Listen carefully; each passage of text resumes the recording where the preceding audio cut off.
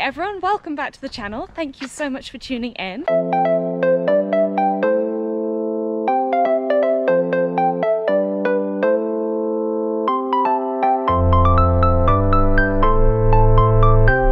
In this week's vlog, I'm heading out for a run. Behind me is Brackenwood Garden Centre and we've just done our usual morning weekend morning activities of going for a nice walk in the woods, going to the garden centre, buying more plants so we don't have space to put anywhere, and now I'm going for a run and I'll be running the whole way back home, which is like 10, 12 kilometers or something, and doing it at a very, very easy pace. And along the way, I will tell you about how my training's been going for my ultra marathon and just do a little update because I feel like all of my vlogs recently have had like a particular purpose. This one is purposeless. It's just a nice little run in the woods. I think it's going to pour with rain as well. And uh, I guess we can uh, catch up then.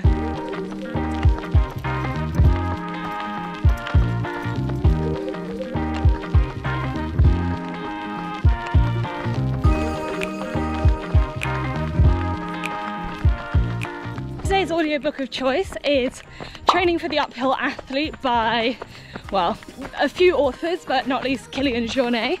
And it is absolutely fascinating. Um, by listening to audiobook, I am missing out on all of the incredible graphs and data that they put in in visual form, um, which obviously you don't get with an audiobook.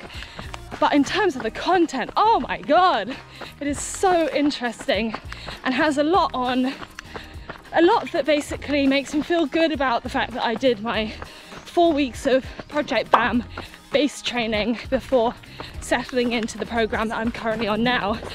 And that's because um, it talks a huge amount about capacity training, which is essentially what my base training is building up your capacity to take on more intensity um, and volume later on in a training program, and how if you don't do that before kind of doing the more intense training, you basically just end up capitulating and uh, burning out or overtraining or whatever, uh, which is what has happened for the vast majority of my other races. I end up having to pull back at some stage. Um, whereas with this, I mean, there's still plenty of time to get it wrong, but um, so far so good. This week has been the most tiring week so far. I'm in week seven out of, out of 16. Um, but that's actually because I've been doing far fewer zone two runs than my usual, which is why I'm not doing a super long run today and tomorrow as well. I'm actually just doing two very nice and easy zone two runs to keep it chill and give my body a time to recover before going into next week's training.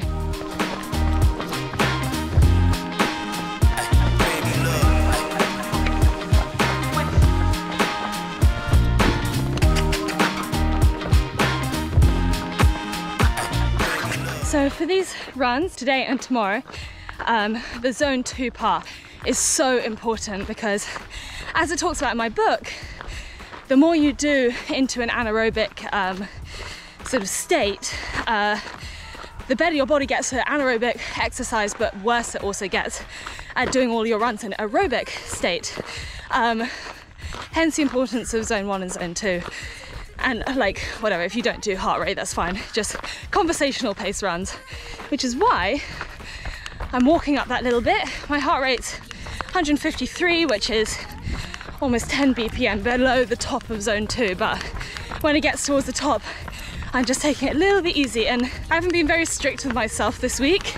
I've been going for runs with other people and doing all sorts that has meant that I've been doing all of my runs a little bit too fast and I can really feel it. Whereas yesterday I did a, nice, easy 5k, really, really easy, and then some. So I did 30 minutes on the tread, zone two, and then 20 minutes climbing, and genuinely felt more recovered after that than I did before it. And I guess that's the whole point in recovery runs. Like, I do not get, or at least I did not get, how going for a run can actually help you recover more than not going for a run. And there's obviously still uh, very much space to have proper recovery days where you actually do nothing. But yesterday was the first time I've ever gone for a run and felt better after it, um, like actually more well rested after it than I did before it. Oh, and we're up into zone three again. This is the one thing that I do find frustrating that I know a lot of you guys agree with.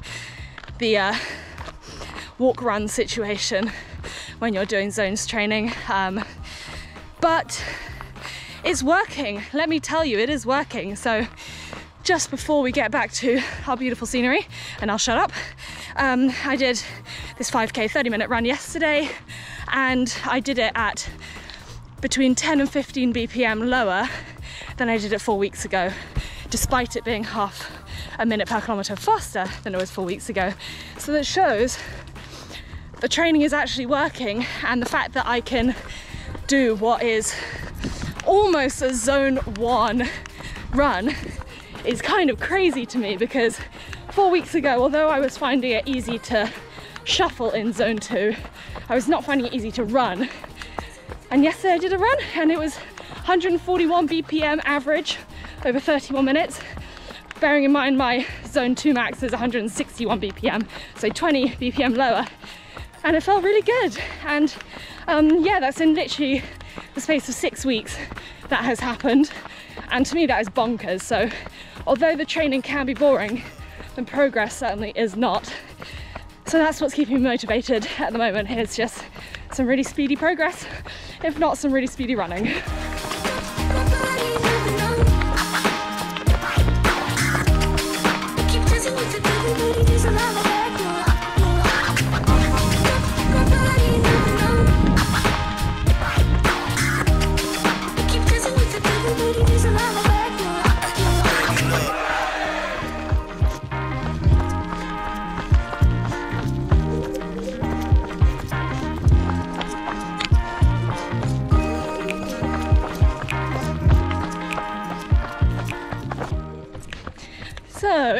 Interested in um, hearing more about the low heart rate training that I've been doing and why I've been doing it, um, go and check out my video Project BAM, Project Become a Machine.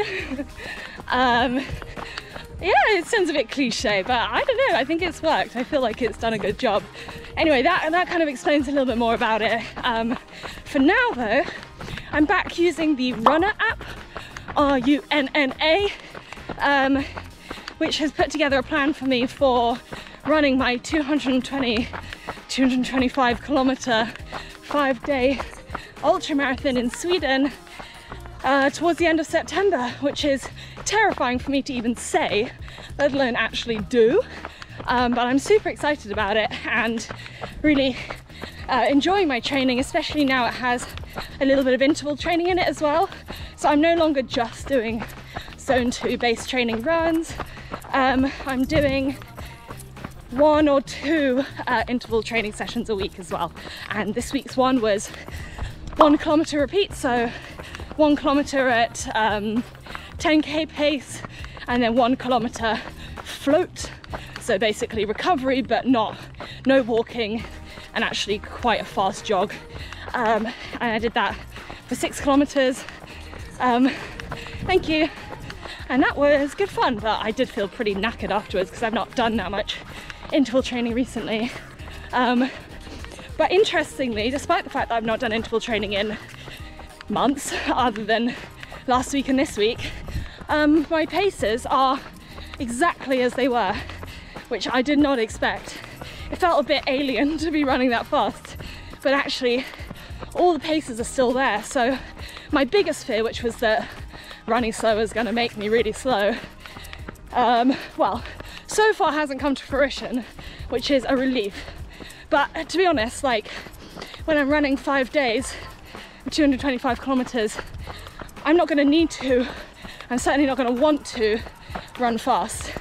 So it's more about just building like a well-rounded aerobic system, all this training, rather than getting particularly speedy um, and I do, of course, for those of you who don't know, have OCC in August, and that will be a little bit speedier because it's one day, 55 kilometers. Um, so I'll need a little bit more punch in the legs for that.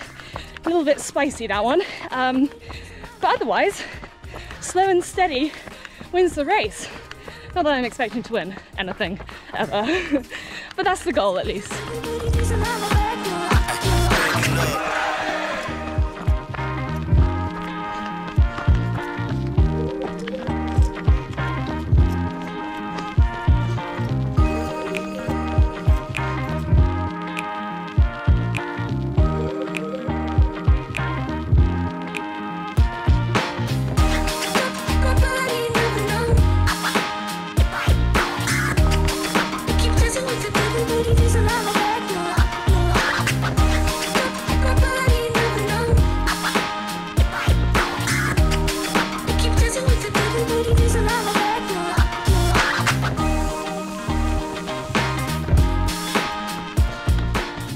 Coming up to the viewpoint. Uh, just doing a very wiggly route around Leigh Woods today. Um, got a little bit lost somehow, despite coming here all the time. There you go. I mean, how many times have I shown you this? But it's still beautiful every time. Clifton Suspension Bridge, the observatory, Clifton Observatory, very pretty. I love it here, absolutely love it. Four and a half K in, heart rate very low.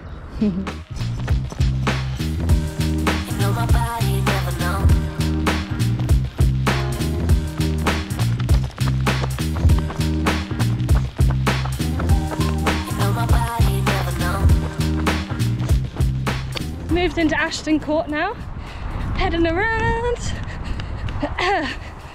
it is so threatening to rain. Uh, it has been like 100% humidity. And like it feels like any second now there's going to be a thunderstorm. But it's been feeling like that for an hour and a half now. And so far nothing. So I'm not really sure what's going on. I almost want it to rain. You know that pressure. It's just kind of stressful.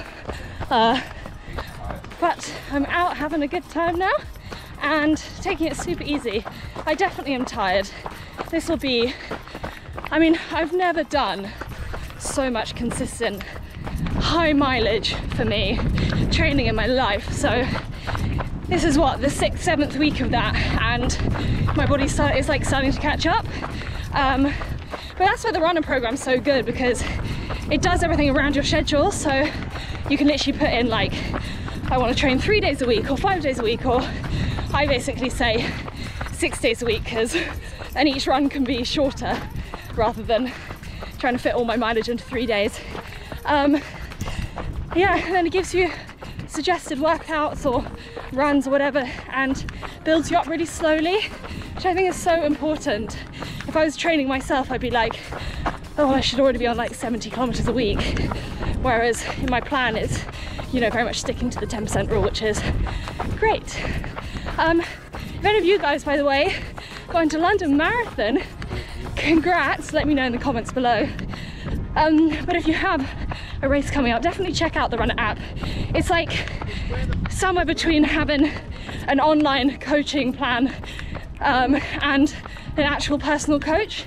It's way better than just like buying a plan off the internet um, because it actually knows you can put in your ability, the race that you're training for, your current times so that all the paces are correct, etc. etc. Um, and if you want to check it out, use the code FLORA and it gives you two weeks free. Um, I'm an ambassador of theirs. Uh, I just think it's really good. I've been using it for, I don't know, like nearly a year now, I think.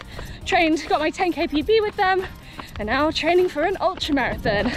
So the whole shebang. And I'm thinking I think I'll do a half marathon later in the year, like towards winter as well, just to see just to see what it's all about.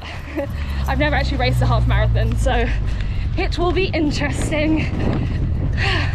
Probably a good distance actually. A little bit easier than an ultra marathon, um, but a little bit slower than a 10k, which is nice.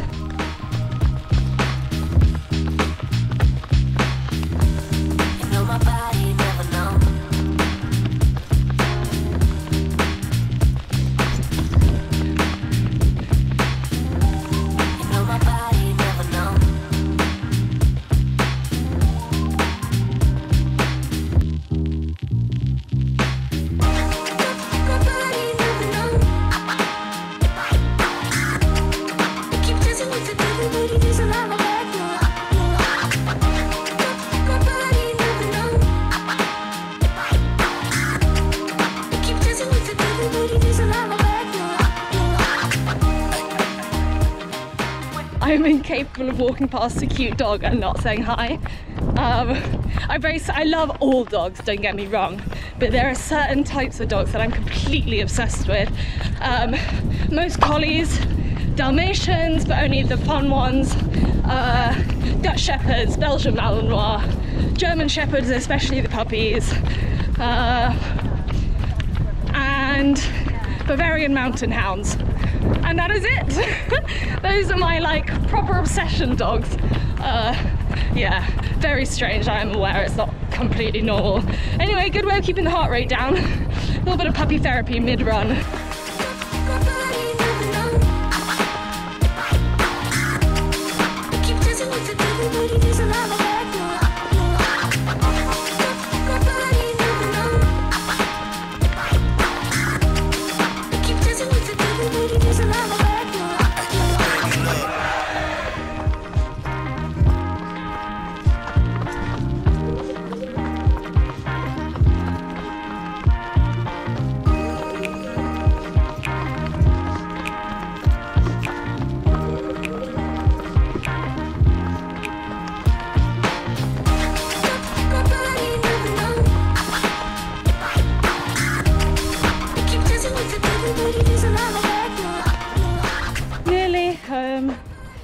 Whew, nearly 11k in.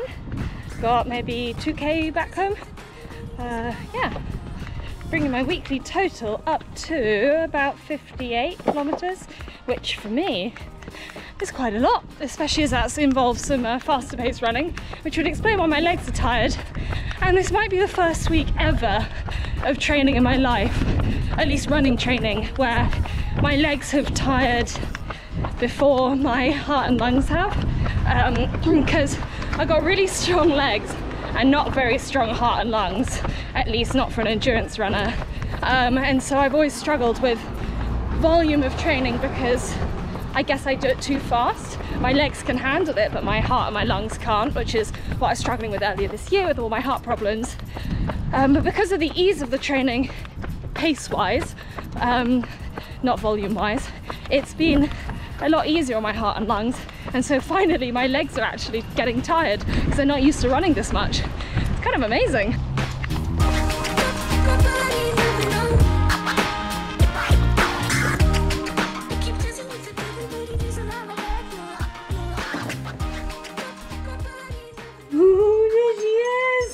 Hello! Hello, little one.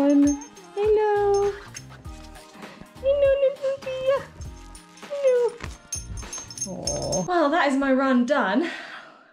I'm exhausted.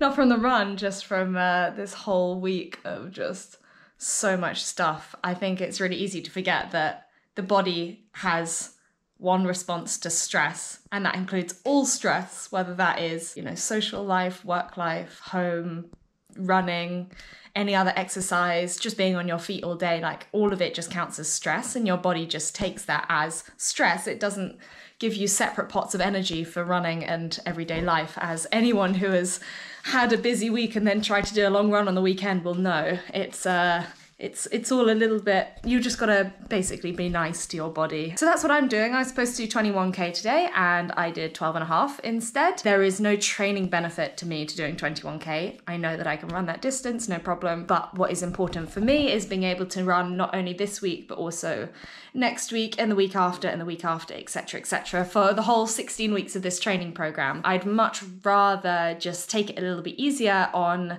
some of the runs to allow my body time to recover and then really be able to push it at the times that I actually need to than to overdo it on weekends like this where the training program says 21k and um, I just don't feel capable of doing 21k plus actually I've done so much mileage this week that if I followed the training plan this weekend I'd end up doing far too many kilometers this week. So I'm at 58 so far. It's Saturday today so I'll do another 10k tomorrow which will take me to 68 which will be two 68 kilometer weeks in a row which is by far the most I've ever done which is awesome. Although I am heading out to Trails and Routes Chamonix next week, midway through the week. So I will be basically like doing a kind of mini taper from Monday through till Thursday, and then the trail camp starts on the Friday and I want to be refreshed for that so that I can get the most out of it. It's not really a taper, it's more just like I'm only going to be doing easy runs rather than some intense workouts because I know that I'm going to want to spend all of my time out on the trails as soon as I get out there and I'm super excited about it. And of course, I'll be vlogging plenty of the days out there as well so that you guys can see what we get up to. And also, some people ask me about the recovery after a run, what sort of stuff that I do. I think I've covered this before, but basically, like the number one thing as soon as I get in is water.